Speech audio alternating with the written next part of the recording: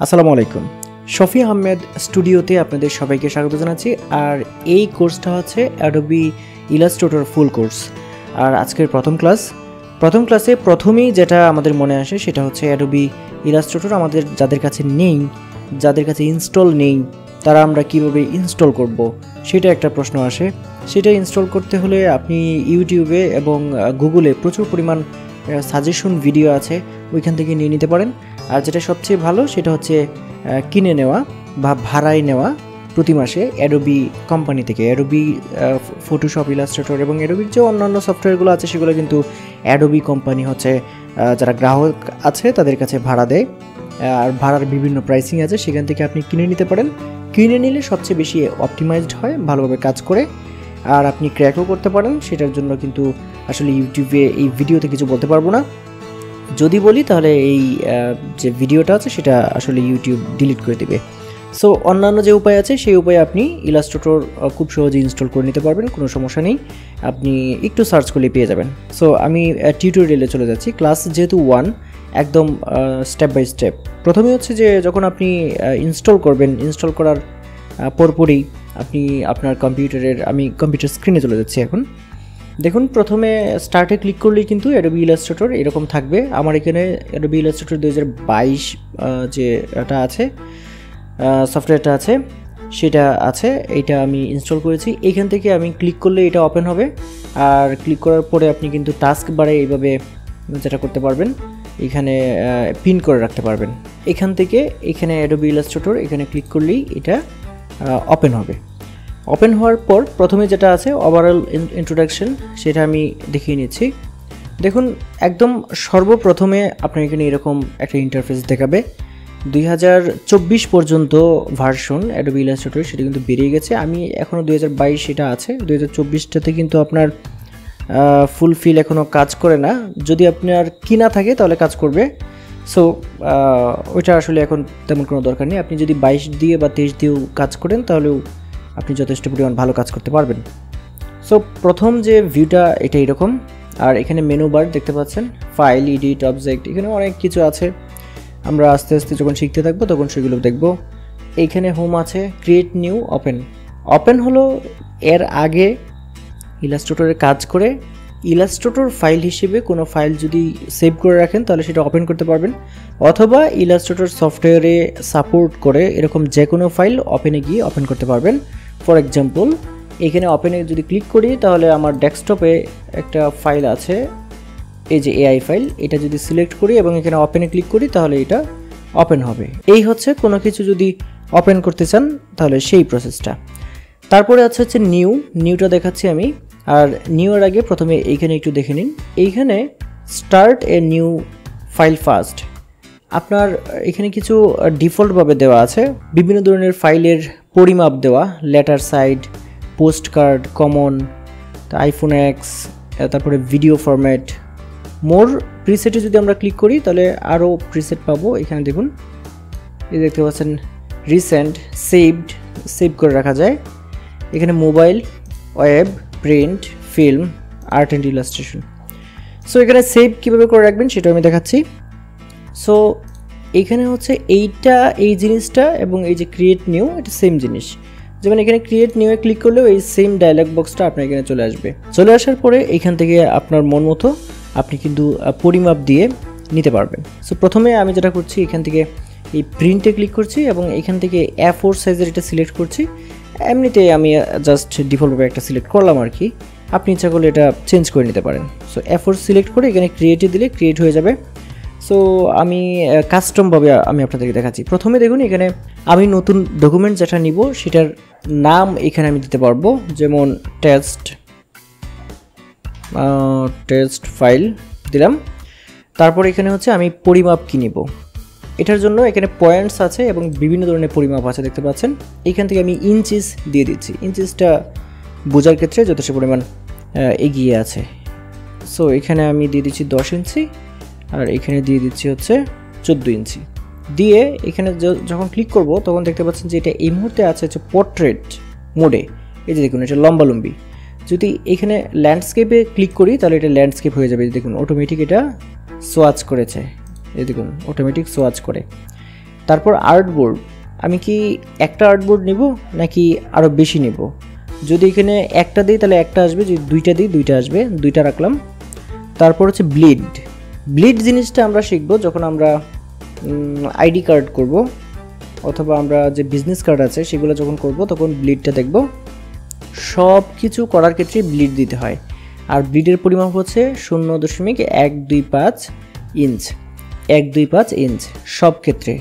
এই সব ক্ষেত্রে ব্লিডটা যদি এক দুই পাঁচ ইঞ্চ দিয়ে নেন, তাহলে ব্লিড কি এবং কেন দিবেন? সেটা হচ্ছে ব্লিড যখন দিবেন তখন হচ্ছে এটা প্রিন্টিংয়ের জন্য উপযুক্ত হয়ে যাবে।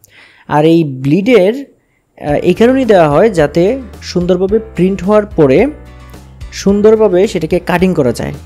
আর ব্লিড যদি না দেন, তাহলে কিন্তু এর যে এরিয়াটা আছে, সেই এরিয়ার বাইরেও প্রিন্ট হয়ে যেতে পারে। সেক্ষেত্রে কিন্তু কাটার পরে, যেমন বিজনেস কার্ড, কাটার পরে দেখা যাবে যে এটা সুন্দর হয়নি। কিন্তু ব্লিড দিলে ওই ব্লিডের ভিতরের একদম নির্দিষ্ট অংশের মধ্যে কিন্তু প্রিন্ট হবে। সেক্ষেত্রে মেশিন দিয়ে কাটার পরেও কিন্তু খুব সুন্দরভাবে বিজনেস কার্ডটা একদম প্রফেশনাল বিজনেস কার্ড হিসেবে আপনি কিন্তু আপনার কাস্টমারের কাছে পৌঁছে দিতে পারবেন। তারপর হচ্ছে সিএমওয়াইকে কালার অ্যাডভান্সটা দেখে নিই। অ্যাডভান্স এই যে দেখুন কালার আপনি ইলাস্ট্রেটরে যখনই কোনো কাজ করবেন, অবশ্যই আপনাকে সিএমওয়াইকে কালার দিতে হবে। এখন সিএমওয়াইকে কালার মানে কি? সিএমওয়াইকে কালার হচ্ছে, দেখতে পাচ্ছেন সিতে হচ্ছে সায়ান আর এম তে হচ্ছে ম্যাজেন্ডা ওয়াইতে হচ্ছে ইয়েলো এবং কেতে হচ্ছে কি ব্ল্যাক সো এই চারটা কালার নিয়ে এই সিএমওয়াইকে কালার এবং এই ইলাস্ট্রেটর জগতে সিএমওয়াইকে কালার এই জন্যই ব্যবহার করা হয়, কারণ হচ্ছে এটা প্রিন্টের জন্য ব্যবহার করা হয়। যদি স্ক্রিনের জন্য ব্যবহার করা হতো, অর্থাৎ আমি শুধু স্ক্রিনে ওয়েবসাইটে ব্যবহার করব তারপর হচ্ছে বিভিন্ন, যেমন ইউটিউবে ফেসবুকে আপলোডের জন্য ইনস্টাগ্রামে আপলোডের জন্য ব্যবহার করব বা কোনো একটা বড় অ্যাডভার্টাইজমেন্ট ডিজিটাল স্ক্রিনে এটাকে আমি দেখাবো, সেই ক্ষেত্রে আট জিবি কালারের কালারে মুডে সেটাকে ডিজাইন করতে হবে আর জিবি কালার মুডে R G B red green blue আর যদি সায়ান ম্যাজেন্ডা ইয়েলো এবং কি ব্ল্যাক এই যে সিএমওয়াইকে কালার আছে, এই চারটা কালারের কম্বিনেশন যে কালার মুডটা আছে বা এটা আছে, এইটাকে ব্যবহার করা হয়েছে প্রিন্টিংয়ের জন্য, সবসময় প্রিন্টিংয়ের জন্য।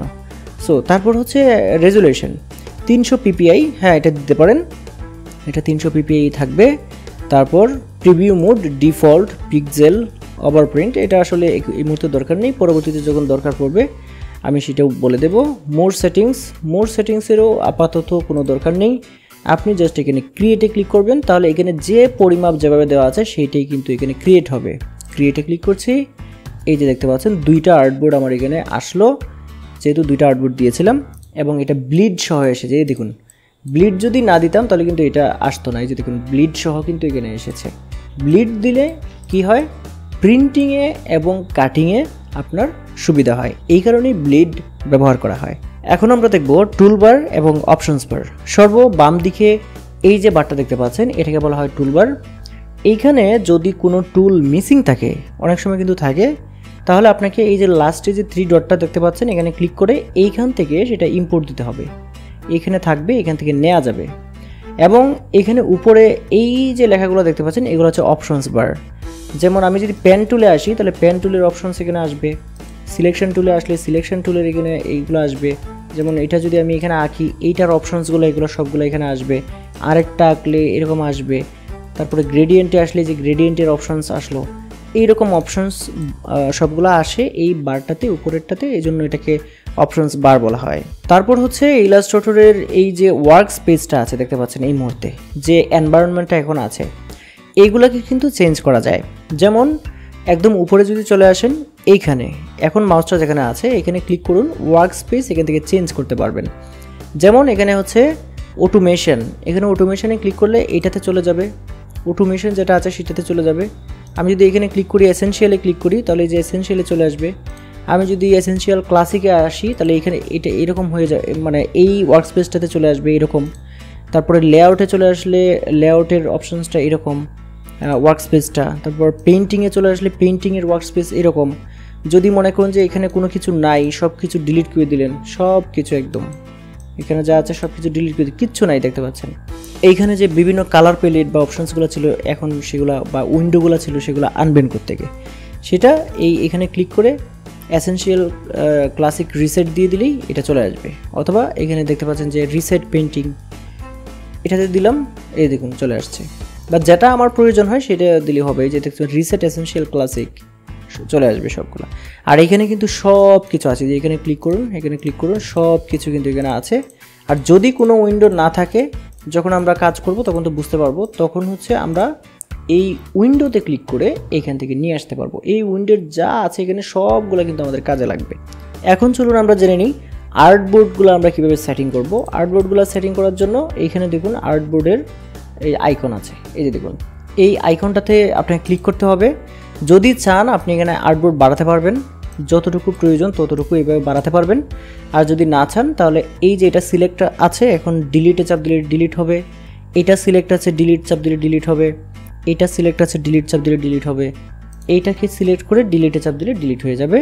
তারপর অন্য কিছু করতে হবে না জাস্ট এই সিলেকশন টুলে ক্লিক করুন, তারপর জুম ইন করুন। এই যে দেখুন, কাজ হয়ে গেছে। এখন জুম ইন এবং জুম আউট কীভাবে করতে হয়, সেটা একটু দেখে নিন। জুম ইন করতে হলে কন্ট্রোলে চেপে রেখে আপনার কিবোর্ডের যে প্লাস বাটন আছে, সেটাতে চাপ দিলে জুম ইন হবে। আর কন্ট্রোলে চেপে রেখে কিবোর্ডের মাইনাস বাটনে চাপ দিলে জুম আউট হবে। এরকম।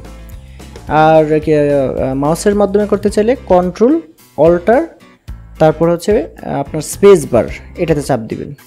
তাহলে এই যে এরকম জুম আউটের আইকন আসবে, তখন ক্লিক করলেই জুম আউট হবে। তারপর কন্ট্রোল এবং স্পেস বারে চাপলে এই ম্যাগনিফাইংটা প্লাস হবে, তখন ক্লিক করলে সেটা প্লাস মানে জুম ইন হবে, বড় হবে। আর কন্ট্রোল অল্টার স্পেসে দিলে জুম আউট হয়। আর এটা হচ্ছে হ্যান্ড টুল এই যে হ্যান্ড টুল এই হ্যান্ড টুলটা এখানে টুলবারেও আছে, কিন্তু এই হ্যান্ড টুলটা ব্যবহার করা হয় হচ্ছে এই যে আমার যে ওয়ার্ক স্পেসটার মধ্যে যে পেজটা আছে সেটাকে এদিক সেদিক নাড়ানোর জন্য, আর এটা হচ্ছে স্পেস বার স্পেস বারে চাপ দিলেই এই টুলটা আসে, তখন ক্লিক করে এদিক সেদিক কীভাবে নাড়ানো যায়, এদিক সেদিক নাড়ানো যায়। স্পেস বারে চাপ দিলেই হ্যান্ড টুল আসে, তারপর ক্লিক করে এদিক সেদিক নাড়ানো যায়। বন্ধুরা, আজকে প্রথম ক্লাসেই আমরা দেখব সিলেকশন টুল এবং ডাইরেক্ট সিলেকশন টুল যদিও সিলেকশন টুল এবং ডাইরেক্ট সিলেকশন টুলের ফুল জিনিসটা কিন্তু আমরা আজকে দেখাবো না, দেখাবো হচ্ছে একদম বেসিক জিনিসটা। সো প্রথমেই দেখুন টুলবারের প্রথম যে ইয়েটা আছে টুলটা এইটা হচ্ছে সিলেকশন টুল আর পরে যেটা আছে সেটা হচ্ছে ডাইরেক্ট সিলেকশন টুল এই যে দেখুন সো প্রথম সিলেকশন টুল এবং ডাইরেক্ট সিলেকশন টুল এবং নিচের দিকে এই যে দেখতে পাচ্ছেন এইটা হচ্ছে শেপ টুল এখন এই শেপ টুলটা যদি আসলে প্রথমে একটু ব্যবহার না করি, তাহলে সিলেকশন এবং ডাইরেক্ট সিলেকশন টুলই আমরা ব্যবহার করতে পারব না। সো প্রথমে এখানে শেপ টুলে ক্লিক করছি, এটা অ্যাক্টিভ হলো। আবার যদি এটার ভিতরে যে অন্যান্য টুলগুলো আছে যেমন এই যে রাইট বাটনে ক্লিক করলেই বোঝা যাবে। দেখুন রেক্টিঙ্গেল টুল আছে, এখানে রাউন্ডেড রেক্টিঙ্গেল আছে ইলিপস আছে মানে বৃত্ত পলিগন আছে স্টার টুল আছে ফেয়ার টুল ফ্লেয়ার টুল আছে। সো আমি এখানে রেক্টিঙ্গেল একটা নিলাম, এখান থেকে ক্লিক করে রেক্টিঙ্গেলের যে টুলটা এটা নিলাম। এখন এখান থেকে জাস্ট মাউস দিয়ে ক্লিক করে এভাবে ড্রাগ করলেই আমার শেপ তৈরি হবে। সো এই যে টান দিচ্ছি, দেখুন, যদি ডান দিকে টান দিয়ে এভাবে বড় হচ্ছে, নিচের দিকে টান দিলে বড় হচ্ছে। এখন আমি যদি প্রপোর্শনালি বড় করতে চাই মানে দুদিকেই সমানভাবে যদি বড় করতে চাই, তাহলে শিফটে চাপতে হবে। শিফটে চাপলে প্রপোর্শনালি বড় হবে, অথবা ডান দিকে টান দিলে ডান দিকে বড় হবে, নিচের দিকে টান দিলে নিচের দিকে বড় হবে, বাম দিকে টান দিলে বাম দিকে, উপরের দিকে টান দিলে উপরের দিকে। সো আমরা যেটা করছি শিফটে চেপে রেখে একটা, এখানে ক্লিক করে এভাবে টান দিয়ে একটা কী করলাম? একটা রেক্টিঙ্গেল আমরা আঁকলাম, বা বর্গক্ষেত্র আমরা এখানে এঁকে নিলাম। এখন কাজ হচ্ছে, এটাকে আমরা এই যে সিলেকশন টুল এবং ডাইরেক্ট সিলেকশন টুল দিয়ে এটাকে কীভাবে কাজ করব এটাতে সেটা হচ্ছে বিষয়। সো এখন প্রথমে এর মাঝখানে আরেকটা জিনিস বলে নিই। এইখানে দেখুন, এই যে আমি যে রেক্টিঙ্গেলটা আঁকলাম রেক্টিঙ্গেলে কোনো, অন্য কোনো কালার নেই সেক্ষেত্রে কিন্তু একটু দেখতে অড লাগছে মানে সাদার মধ্যে সাদা। তো এখানে আমি একটু কালার প্যালেট সম্পর্কে একটু বলে নিই।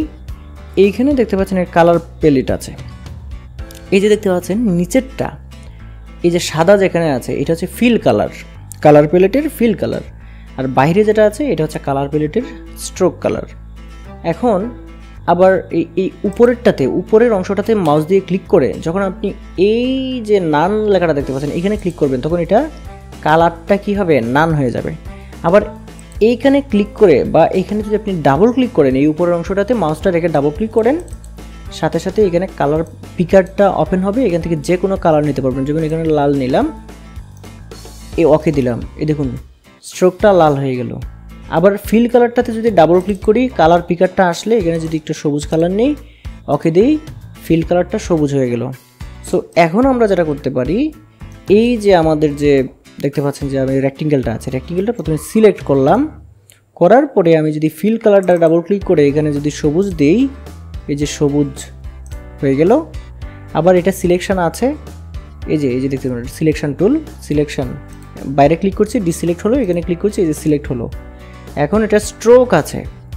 একটু যদি জুম ইন করেন। Control alt space zoom in করলাম। কন্ট্রোল স্পেস এই যে ক্লিক করছি জুম ইন হচ্ছে। এই যে দেখতে পাচ্ছেন, বাইরে কালো অংশটা, এটা হচ্ছে স্ট্রোক এখন এই যে স্ট্রোক কালারটা এটা সিলেকশন আছে স্ট্রোক কালার ডাবল ক্লিক করে এখানে যদি আমরা লাল কালার দিই, এই যে এখানে আনলাম, এই লাল কালার এখানে দিলাম। কালার পিকার থেকে এখানে লাল কালারটা নিলাম, এখানে অকেতে ক্লিক করলাম। এই দেখুন এখন লাল হয়েছে। এখন একটু সিলেকশন টুল এবং ডাইরেক্ট সিলেকশন টুলের মধ্যে একটু পার্থক্য আপনাদেরকে বোঝাই। সিলেকশন টুল দিয়ে আপনি কিন্তু জাস্ট যে কোনো আমি আরেকটা এখানে বৃত্ত এঁকে নিচ্ছি। হ্যাঁ এই তিনটা অবজেক্ট হলো এখন। এখন সিলেকশন টুল দিয়ে কিন্তু এদিক সেদিক কী করতে পারছি? নাড়াতে পারছি। তারপর হচ্ছে যখন আপনি, আমি এই যে আমার অবজেক্ট আছে, এটার সাইডে যাচ্ছি, একদম কর্নারে কর্নারে যাওয়ার সাথে সাথে দেখুন আমার মাউসটা কিন্তু কী হলো রোটেট টুলার রোটেট করার জন্য একটা চিহ্ন আসলো। এখন যদি আমি ক্লিক করে এভাবে টান দিই, তাহলে রোটেট হবে এটা রোটেট হবে। এবং এই রোটেটটা যদি আপনার প্রপোর্শনালি করতে চান, তাহলে শিফটে চেপে রাখবেন। শিফটের চাপ দিলে প্রপোর্শনালি হবে, দেখুন। এই যে এই যে এই যে প্রপোর্শনালি হচ্ছে। সো এইভাবে আপনি করতে পারবেন। আর ডাইরেক্ট সিলেকশন টুলের কাজ হলো, আপনি যদি ছোটো বড়ো করতে চান, যেমন এই ডান দিক থেকে যদি ছোটো করতে চান, এভাবে জাস্ট এই যে হ্যান্ডেলটা দেখতে পাচ্ছেন, এটাকে হ্যান্ডেল বলা হয়। এখানে ক্লিক করে এইভাবে টান দিবেন। এই যে ছোটো হচ্ছে, এটা, আর যদি ডান দিকে বাড়াতে চান, টান দিবেন, বেড়ে যাবে। নিচের দিক থেকে উপরের দিকে যদি আনতে চান ক্লিক করে উপরের দিকে আনুন।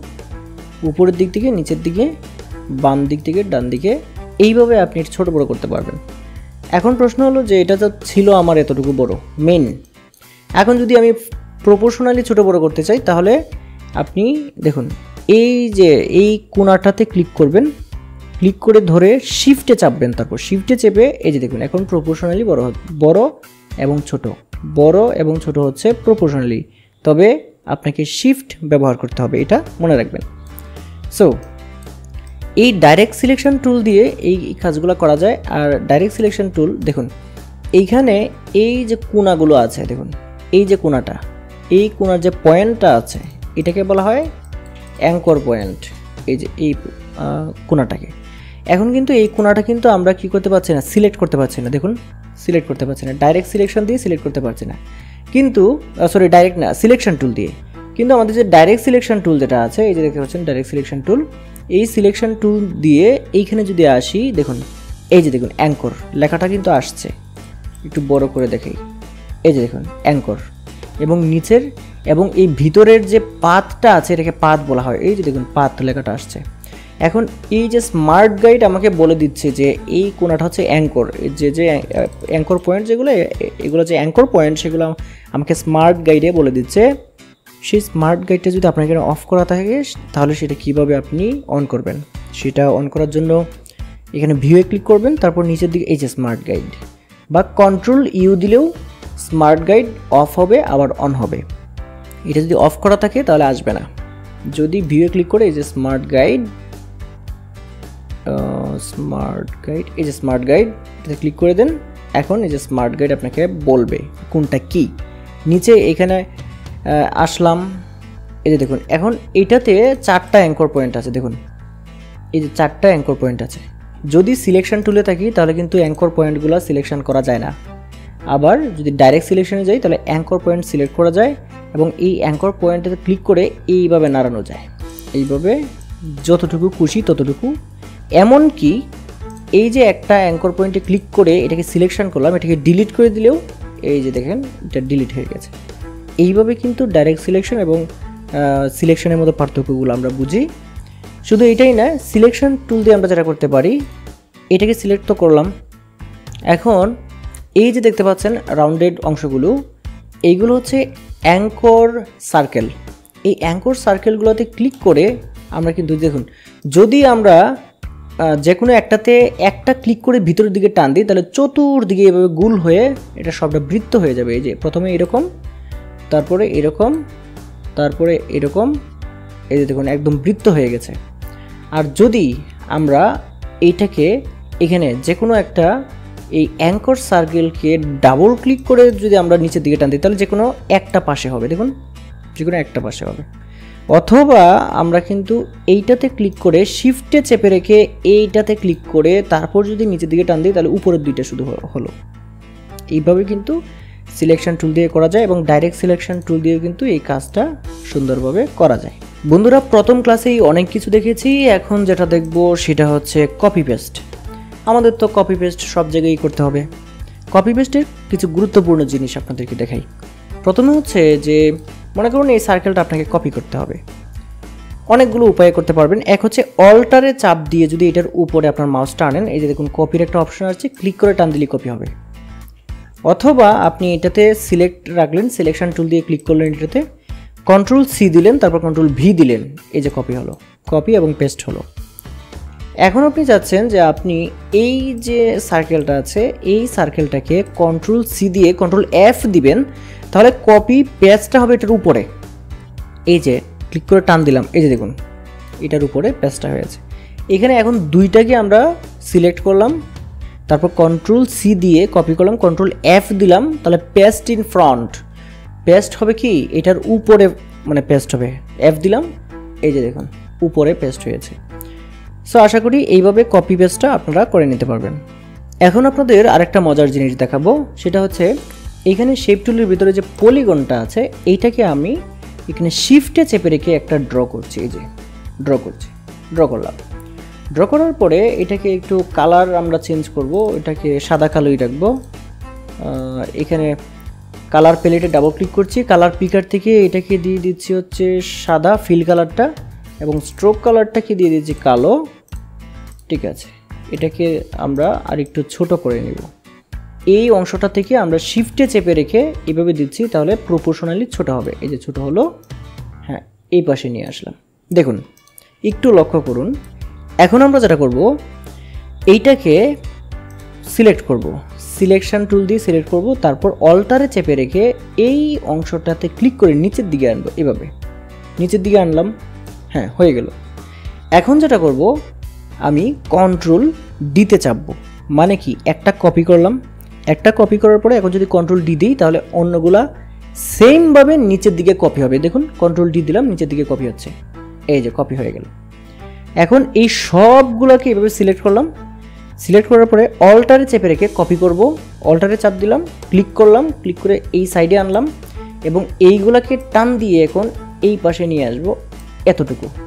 দেখুন, এখন একটা সুন্দর শেপ হয়েছে। এখন সবগুলোকে এই যে এই পাশে যে নিয়ে আসলাম, এই সবগুলোকে সিলেক্ট করব। করে এখন অল্টারে চেপে রেখে এইটাকে নিয়ে আসব এইখানে এবং অল্টার শিফট দিলে একদম সোজাসুজি আসবে, দেখুন। হুম, ছেড়ে দিলাম ওকে এখন জাস্ট আমরা কন্ট্রোল ডি দিব, দেখুন, কত সুন্দর একটা ডিজাইন হয়ে গেছে। এই যে সুন্দর একটা ডিজাইন কিন্তু হয়ে গেল। বন্ধুরা, এখন আমরা যেটা দেখব, সেটা হচ্ছে গ্রুপ কীভাবে করতে হয়। এইখানে মনে করুন এইখানে এই যে সবগুলো আছে, এই সবগুলোকে যদি সবসময় আমাকে সিলেক্ট করতে হয়, এভাবে টান দিয়ে সবটাকে সিলেক্ট করতে হবে। অথবা এই সবগুলোকে সবগুলোকে এভাবে সিলেক্ট করতে হবে। অথবা যদি একটাকে ক্লিক করি, তাহলে একটা সিলেক্ট হচ্ছে, দেখুন। সো এইভাবে না করে সবগুলোকে গ্রুপ করা যায় সেই জন্য প্রথমে সিলেক্ট এভাবে করতে হবে, তারপর রাইট বাটনে ক্লিক করে এবার গ্রুপে ক্লিক করতে হবে। অথবা আপনাকে প্রথমে সিলেক্ট করতে হবে সিলেক্ট করতে হবে, তারপর কন্ট্রোল জিতে চাপতে হবে, তাহলে কিন্তু গ্রুপ হয়ে যাবে।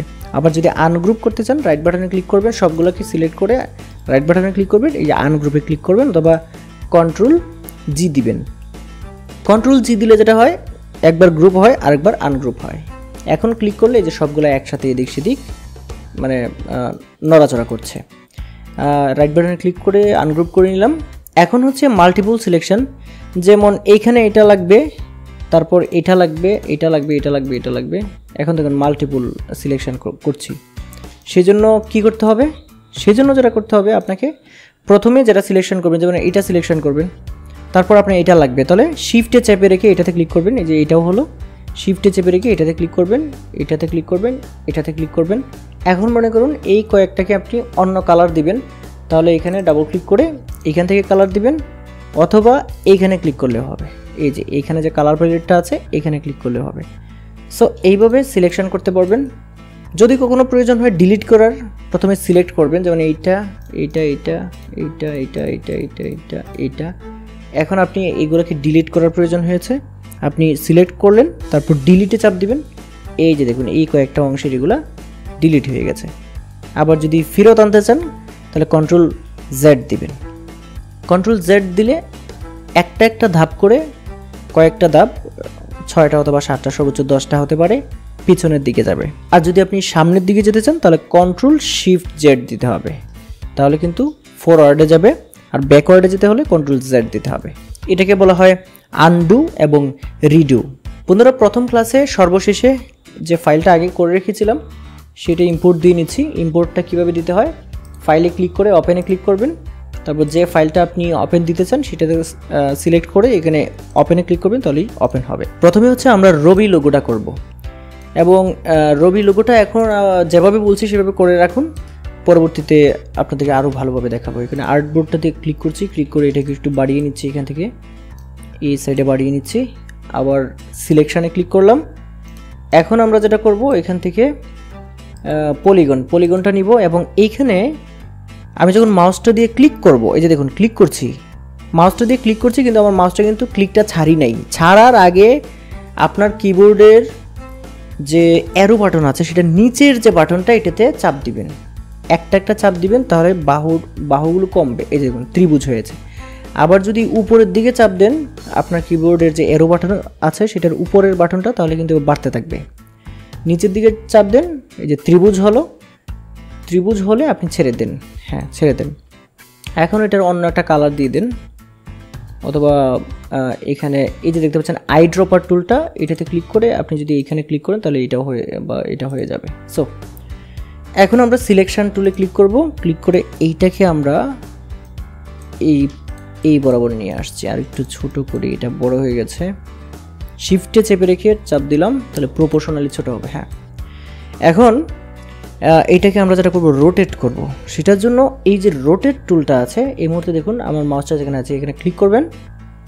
তারপর যে কোনো একটা প্রান্ত বিন্দু নিতে হবে। যেমন এই বিন্দুটাকে আমি নিব, এই বিন্দুটা। এখানে অল্টারে চেপে রেখে এই বিন্দুটাতে ক্লিক করবেন। তারপর এখানে দিবেন সিক্সটি ডিগ্রি এবং প্রিভিউ। এইটা যেটা আছে, এই জিনিসটা দিয়ে একটা বৃত্ত তৈরি হতে ছয়টা এরকম লাগবে। যেহেতু একটা বৃত্ত যেহেতু, সেটা সেক্ষেত্রে তিনশো ষাট ডিগ্রি একটা বৃত্ত। সেই জন্য আমরা ছয় মানে ষাট। তাহলে ছয় ছয়, ছত্রিশ, তিনশো ষাট। সেই জন্য এখানে ষাট দিয়ে বাঘ দিয়েছি, এখানে কপি দিব। এই দেখুন, একটা এই পাশে এসেছে। এখন আমরা যেটা করব কন্ট্রোল ডি দিব। এই যে দেখুন কন্ট্রোল ডি দিলাম। তাহলে যে বৃত্ত, এই বৃত্তটাকে ভাগ করেছে একটা, দুইটা, তিনটা, চারটা, পাঁচটা, ছয়টা। এই ছয়টা ভাগে ভাগ হয়েছে, এই জন্য কিন্তু ছয় দিয়ে ভাগ দিয়েছি একটা বৃত্তের পরিধিকে, তিনশো ষাট। সেই জন্য ছয় দিয়ে ভাগ দিলে কত হলো? ষাট করে। এই জন্য কিন্তু এটাকে রোটেট করার সময় আমরা সাইড দিয়ে ভাগ দিয়ে, ভাগ দিয়েছিলাম। এটা যদি মনে না থাকে আবার দেখে নেবেন।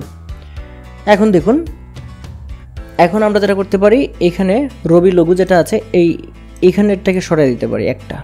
একটা সরাই দিলাম। এবং এই জিনিসটাকে কি করব? এই পাশে, এই যে দেখুন, এই পাশে এনে বসায় দিব। এবং এই পাশে সুন্দরভাবে বসেছে কি না এবং পাত অনুযায়ী বসেছে কি না সেটা দেখার জন্য আপনাকে কি করতে হবে? এখান থেকে কন্ট্রোল ওয়াইয়ে চাপতে হবে। কন্ট্রোল ওয়াইয়ে চাপলে পাত দেখা যাবে দেখুন, পাত দেখা যাচ্ছে। সো এটা কিন্তু ঠিকমতো বসে নাই। ঠিকমতো যদি না বসে, এটাকে কি করতে হবে? বসাতে হবে ঠিকমতো। ক্লিক করে টান দিয়ে এইখানে এনে এই একদম অ্যাকুরেটলি বসাতে হবে। অ্যাকুরেটলি যদি না বসান, তাহলে কিন্তু আপনার ডিজাইনে অনেক প্রবলেম হবে। সেই জন্য আপনাকে সব সময় অ্যাকুরেসির উপরে থাকতে হবে। এই দেখুন, একদম অ্যাকুরেটলি বসে গেছে। এখন আমরা কি করব? আবার কন্ট্রোল ওয়াই দিব। কন্ট্রোল ওয়াই দিলে আবার পূর্বের অবস্থায় ফিরে আসবে। কন্ট্রোল ওয়াই দিলাম। হুম। এখন যদি চান, এখানে গ্রেডিয়েন্ট দিয়ে একদম সেম এরকম করে ফেলতে পারবেন।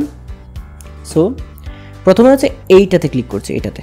এইটাতে ক্লিক করছি। ক্লিক করে আমরা কী করব? গ্রেডিয়েন্ট অ্যাপ্লাই করব। এই যে গ্রেডিয়েন্টে ক্লিক করছি এবং এই পাশে এই যে দেখুন গ্রেডিয়েন্টের যে অপশনস বারটা আছে বা উইন্ডোটা আছে, সেটা কিন্তু এটা, এটাতে ক্লিক করলাম। ক্লিক করে আমরা এই যে দেখতে পাচ্ছেন গ্রেডিয়েন্ট টাইপ আছে।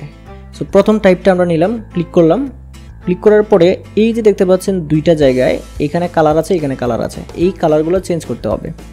সেজন্য প্রথমে আমি এই সাদা কালারটাতে ক্লিক করলাম। ক্লিক করার পরে এই যে আইড্রপারটা আছে আইড্রপারটাতে ক্লিক করলাম। ক্লিক করে আমি এইটা দিলাম এবং এইখানে কালোটাতে ক্লিক করলাম। আবার আইড্রপারে গেলাম। আবার এখানে কী করলাম? এটাতে এটাতে ক্লিক করলাম। আইড্রপারে গিয়ে আবার এটাতে ক্লিক করলাম। সো এইটা যেরকম আছে সেরকম হয়ে গেল। এখন আমরা সিলেকশানে তুলে যাব। আবার এইটাকে সিলেকশন করব। আবার এই গ্রেডিয়েন্টে যাব। আবার কি করব? আমরা এইটাতে ক্লিক করব। এইখানে আইড্রোপারে ক্লিক করব। এইখানে চলে আসব। আবার সেম বিষয়টাতে এখানে দেখতে পাচ্ছেন এখানে লাগবে না। এখানে সুন্দরভাবে কিন্তু মোটামুটি দেওয়াই আছে। আর এইখান থেকে যদি আপনি মানে এখানে যে পোর্শনগুলো বা সাইডগুলো চেঞ্জ করতে চান, তাহলে এখানে ক্লিক করতে হবে। ক্লিক করে, এটা তো আছেই হ্যাঁ। এখানে ক্লিক করতে হবে, তারপর এইভাবে দিতে হবে। যদি আপনি এই সাইডে চান, এইভাবে দিতে হবে। এইভাবে হলো চেঞ্জ করতে হবে। সো, আমি এটা দিয়ে দিচ্ছি কোনভাবে? এইভাবে হ্যাঁ এইভাবে সবচেয়ে সুন্দর হবে। এর পরেরটাতে দেওয়ার জন্য আমি আবার সিলেকশানে যাব, এটাতে ক্লিক করব। আমি খুব আস্তে আস্তে বোঝাচ্ছি এই কারণেই, যাতে একদম প্রাথমিক হিসেবে আপনি সেগুলো সুন্দরভাবে অ্যাপ্লাই করতে পারেন। এটাতে আসলাম গ্রেডিয়েন্টে চলে গেলাম, এই যে গ্রেডিয়েন্ট এখানে ক্লিক করছি গ্রেডিয়েন্ট এই যে গ্রেডিয়েন্ট এখানে কোনটা দিব? এখানে এখানে ক্লিক করে, তারপর হচ্ছে এখানে কালার পিকলে ক্লিক করে, এটা দিয়ে দিলাম। তারপর সেমভাবে এখানে ক্লিক করে, আমি আবার এটা দিয়ে দিলাম। হুম, এটাও হয়ে গেল। তারপর আবার সিলেকশান এটা সিলেকশানে দিলাম। আবার হচ্ছে এইখানে গ্রেডিয়েন্টে চলে আসলাম। এইখানে ক্লিক করছি কালার পিকারে ক্লিক করছি, কমলা কালারে চলে আসলাম। এখানে ডাবল ক্লিক করছি ডাবল ক্লিক করলে কালার এখানে আসবে। এই কালারটা দিয়ে দিচ্ছি, অথবা আরেকটু ঘাড়ো হ্যাঁ এটা দিয়ে দিলাম।